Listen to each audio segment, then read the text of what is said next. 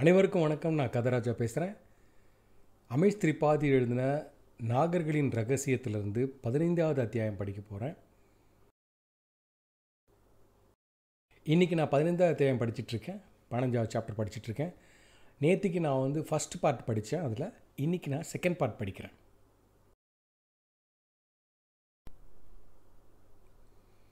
ஒரு வீரனோட உதவியோட தம் மேலே கடந்த அந்த சிங்கத்தோடைய பாடியை வந்து அகத்திட்டு சதி உடனடியாக எழுந்துச்சா? அங்கே போய் முகமுடி வந்து மற்றவங்களோட உதவியோட தள்ளாடிக்கிட்டு எழுந்து எழு- எழுந்துக்கிட்டு இருக்கான். அந்த முகமுடி கிட்ட ஓடுறா. ஓடி வேகமாக ஓடி போய் ஓடி போய் கிட்ட போனால் அப்படியே ஆணி அடித்த மாதிரி அப்படி நின்றுட்டான் அந்த மனுஷனுடைய முகமுடி நழுவி அப்படியே கீழே விழுந்துருச்சு.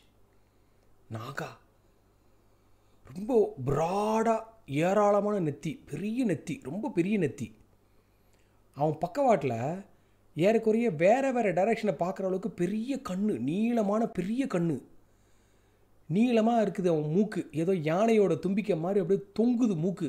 பெருசாக வாயில் ரெண்டு பக்கம் பல்லு பெருசு பெருசாக இருக்குது. அதில் ஒன்று உடஞ்சி போய் நீளமாக வேற வெளியில் நீண்டுக்கிட்டு இருக்குது. என்னமோ தெரில பழைய காயமாக என்னன்னு தெரில காதெல்லாம் பெருசாக பட்டையாக ஏதோ காத்தாடி மாதிரி பெருசாக இருக்குது அவனுக்கு. அது என்ன எதோட சோடனே தெரில ஏதோ ஒரு மாதிரி தன்னால் அசைகிற மாதிரி பெரிய காது பட்டையா. ஏதோ யானையோட தலையை எடுத்து யாரோ ரொம்ப குரூரமாக இந்த பாவப்பட்ட ஜென்மத்தோட உடம்பு மேலே ஒட்ட வச்ச மாதிரி இருக்குது. நாக அப்படியே பார்க்குறான் அவனுடைய நகல்லாம் உள்ளங்கையில் கிடிக்கிற அளவுக்கு எரல அப்படி விரல்களெல்லாம் இறுக்கமாக முஷ்டி ஆகிட்டு அப்படி நிற்கிறான் இதோ இந்த நிமிஷத்துக்காகத்தான் எத்தனை எத்தனை யுகமாக அவன் காத்துக்கிட்டு இருந்தான். என்னென்னமோ நினப்பு என்னென்னமோ ஃபீலிங்ஸ் அவன் உடம்புல அவனுடைய இதயத்தை இது சூறையாடுது. ஆத்திரம். வஞ்சிக்கப்பட்ட கோபம் பயம் அன்பு. அப்படியே பார்க்குறான். அவன் கண்ணில் கண்ணீர். பல்லெல்லாம் அப்படியே ஒட்டிக்கிட்டு இருக்குது. அப்படியே கேட்குறான் அவன். அசிங்கமாக இருக்கேன்ல? அப்படின்னு சதியை பார்த்து கேட்குறான் சதி அப்படியே ஷாக்காக அப்படியே பார்க்குறா. என்னது? இல்லை நாகாவை நேருக்கு நேராக பார்த்த ஷாக்கில் அவள் கண்ட்ரோல் பண்ணிக்கிட்டு இருக்கா சதி. தன்னை உயிரை காப்பாற்றணுன்னு நான் எப்படி நான் இன்சல்ட் பண்ண முடியும்? இல்லை இல்லை மன்னிக்கணும். வந்து என்னென்னா அது அப்படின்னு அப்படியே வளர்றா சதியோட வார்த்தையை கண்டிக்கவே இல்லை அவன். அடுத்து ஒரு கேள்வி கேட்குறான் ரொம்ப மெலிசா அதனால தான் என்னை கைவிட்டுட்டு போனீங்களா? என்னது? அப்படின்னு ஷாக் ஆகிட்டா சதி. திரும்ப கண்ணீராக வழியுது அவன் கண்ணத்துலேருந்து அதனால தான் என்னை கைவிட்டுட்டீங்களா? என்னை கண்ணால் பார்க்கக்கூட முடியலல்ல? அப்படியே அழுகிறான் குழப்பம் அப்படியே மனசுக்குள்ளே அப்படியே தெறிக்குது அவளுக்கு. சதி அப்படியே விரித்து பார்க்குறா யார் நீ? அப்படின்றா. ஆ அப்படி ஒரு லேடி வாய்ஸ் பின்னாடி இருந்து வருது. அப்பாவுக்கு ரொம்ப செல்லப்பொண்ணாக இருந்தது போதுமா இன்னும் எத்தனை நாள் தான் அப்பாவியை நடிக்க போகிற அப்படின்னு ஒரு ஒரு ஆணித்தரமான ஒரு பெண் குரல். திருமணா சதி. மூச்சு அப்படியே திக்கிருச்சு அவளுக்கு. அவளுக்கு சட்டுன்னு ஒரு லெஃப்ட் சைடில் வந்தா நாகர்களுடைய ராணி அரசி. அவள் செஸ்ட்டை வந்து ஒரு கனமாக ஏதோ எலும்பமோட ஒரு ஹார்டான ஏதோ ஒன்று வச்சு மூடி இருக்குது. தோல்லேருந்து வயிறு வரைக்கும் ஏதாவது சின்ன சின்ன எலும்பு உருண்டையெல்லாம் சேர்த்து ஏதோ மண்டையோட்டு மாலவை மாதிரி போட்டிருக்க மாதிரி ஒரு பிரமை. அது தோளில் ஏதோ போட்டிருக்கா. தோளில் மேலே வந்து லெஃப்ட் சைட்லேயும் ரைட் சைட்லேயும் சின்னதாக ரெண்டு ரெண்டு ரெண்டு ரெண்டு க ஹேண்டு எக்ஸ்ட்ராவாக சின்னதாக மூணாவது நாலாவது கை. மொத்தம் நாலு கை. அதில் ஒரு கையில் வந்து சதிக்கு மேலே குத்துறதுக்கு ரெடியாக கத்தி பிடிச்சிட்ருக்கா ஆனால் எல்லாத்த விட சதியை வந்து ஆச்சரியம். அப்படியே ஷாக்கில் ஆக்குனது அவளுடைய முகம்தான் கண்ணங்கரேன்னு இருக்குது. அந்த நாகர்களுடைய ராணியோட முகம். ஆனால் அப்படியே சதி மாதிரியே இருக்குது யார் நீங்களாம் அப்படின்னு சதி அப்படியே ஸ்தம்பிச்ச மாதிரி கேட்குறா. இந்த வேஷம் போடுற ஏமாத்துக்கிறிய முதல்ல அனுப்பிச்சிட்டு மேலே அனுப்பிச்சிட்டு வரேன் கண்ணா. அப்படின்னு நாகராணியுடைய அந்த கத்தியை வந்து அப்படி பிடிச்சிட்டு கை அப்படியே ரெட்டியாகுது ஆகுது. ஒரு நாள் உண்மையை ஒத்துக்க போகிறதில்ல மோசக்காரனோட அப்பனுடைய மறு உருவம் தானே இவ. இல்லை மாசி அப்படின்றான் அவன். நாகா. நாகாவை பார்த்த சதி வந்து திரும்ப நாகாவோட அந்த ராணி மேலே திரும்ப பார்வையை பார்க்குறான். நீங்கள் யார்? அப்படின்றா. அடி பாவி.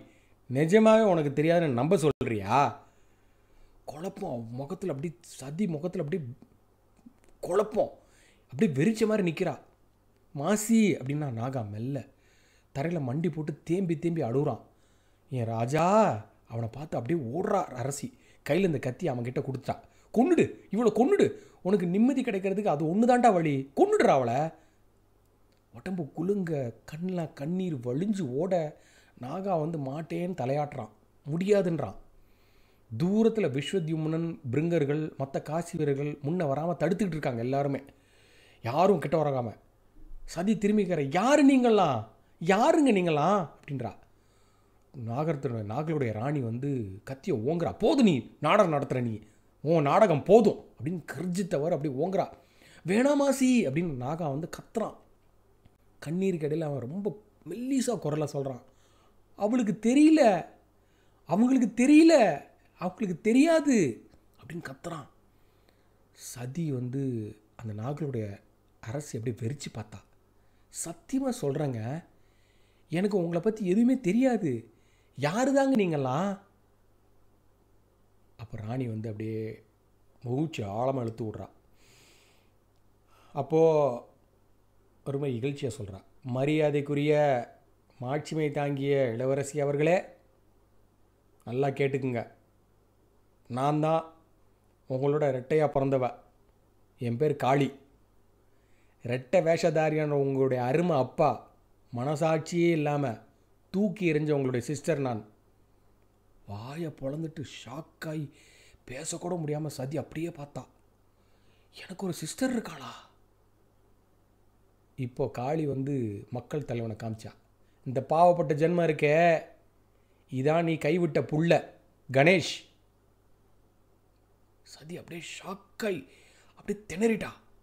என் பையன் உயிரோட இருக்கானா? கணேஷ் அப்படியே உத்து பார்த்தா. என் பையன்? ஆத்திரமும் ஆக்ரோஷமாக நின்ன கணேஷோட கண்ணில் கண்ணீர் வந்து அப்படி பிரவாகமாக அப்படி இறங்குது. துக்கத்தில் உடம்பு தள்ளாடுது. என் பையன்? சதியோட இதயம் வலியில் அப்படியே துடிக்குது.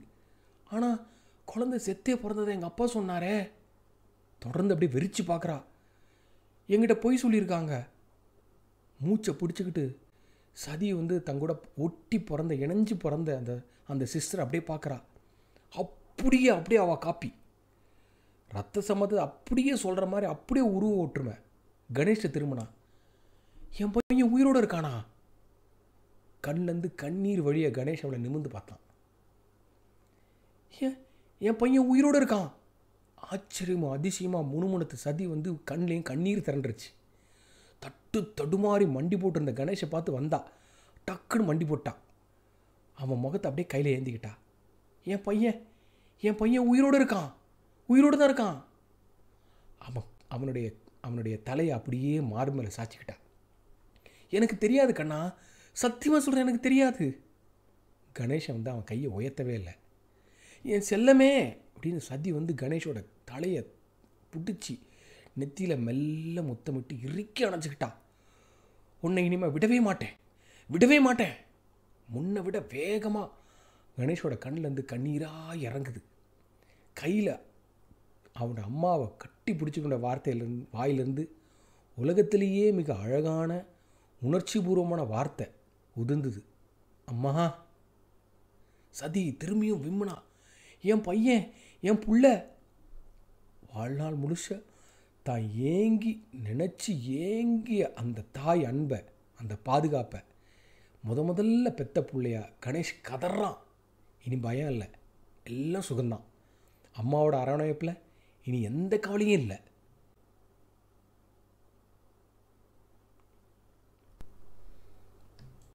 அப்போ அந்த நேரத்தில் மதுமதி ஆத்தங்கரையில் பரசுராமன். கரெக்டான டைம் வரதுக்கு வெயிட் பண்ணிட்டே இருக்கான். இந்த பிருங்க கப்பல் வந்து மணலிட்டில் மோதிருச்சு இல்லையா? அப்போ அதுக்குள்ளே இருந்த தண்ணி தொட்டி அந்த நல்ல தண்ணி எல்லாமே போயிடுச்சு. மதுபதி நதியோடைய தண்ணி குடிக்கிறத தவிர சூரியவம்சுக்கு வேறு வழியே கிடையாது. தண்ணியை வந்து முதல்ல காய்ச்சி தான் குடிக்கணும் அப்படின்னு திவோதாஸ் ரொம்ப பிடிவாதமாக இருந்தார். எப்படி இருந்தாலுமே கையில் வந்து விஷம் உரிக்கிற மருந்து இல்லைன்னு வச்சுக்கோங்க. ஃபர்ஸ்ட் டைம் மதுமதியோட தண்ணி சாப்பிட்றவங்க கொஞ்சம் மணி நேரமாவது மயக்கத்தில் போயிடுவாங்க அப்படின்றது பரசுராமுக்கு நல்லா தெரியும் பரசுராமனுக்கு. வெயிட் பண்ணான் வெயிட் பண்ணான் வெயிட் பண்ணான் தண்ணியோடைய எஃபெக்ட் தெரிகிற வரைக்கும் பொறுமையாக வெயிட் பண்ணான் செய்ய வேண்டிய காரியம் ஒன்றே ஒன்று பாக்கி இருந்துச்சு. டோட்டல் கேம்பும் தூக்கத்தில் போயிடுச்சு. டோட்டல் கேம்பும் வேலையை ஆரம்பித்தான் தன்னை கட்டியிருந்த அந்த சங்கிலியிலேருந்து ஒரு வீக்கான ஒரு பாட்டை கண்டுபிடிச்சிட்டான். அதை கல்லால் லேசாக கொட்டி கொட்டி கொட்டி கொட்டி டக்குன்னு உடஞ்சிருச்சு அது. அப்புறம் என்ன பண்ணால் தளபதியை பார்த்தான். தளபதி இவர் நினச்சிட்டு இருக்காரு? தன்னையும் அவன் வந்து விடுவிச்சிரும் அப்படின்னு நினச்சிட்டு இருந்தார். அவர் கண்ணில் மண்ணை போட்டு சங்கிலியை திரும்பி ஆணியில் அடித்து திரும்பி ஃபிக்ஸ் பண்ணிட்டான். யாரும் தப்பிக்கக்கூடாது புரியுதா? அப்படி யாராவது ட்ரை பண்ணிங்க நானே அவங்கள வேட்டையாடி கொண்டுடுவேன் குழப்பத்தில் வந்துட்டான் அவன். தளபதி என்னது இருந்தாலும் இப்படி சொல்கிறாரு இருந்தாலும் நம்ம தலைவனுடைய வந்து ஆக்ரோஷம் பயங்கரமான ஆக்ரோஷம். அதை கேள்வியெல்லாம் கேட்கவே முடியாது. அமைதியாயிட்டான்.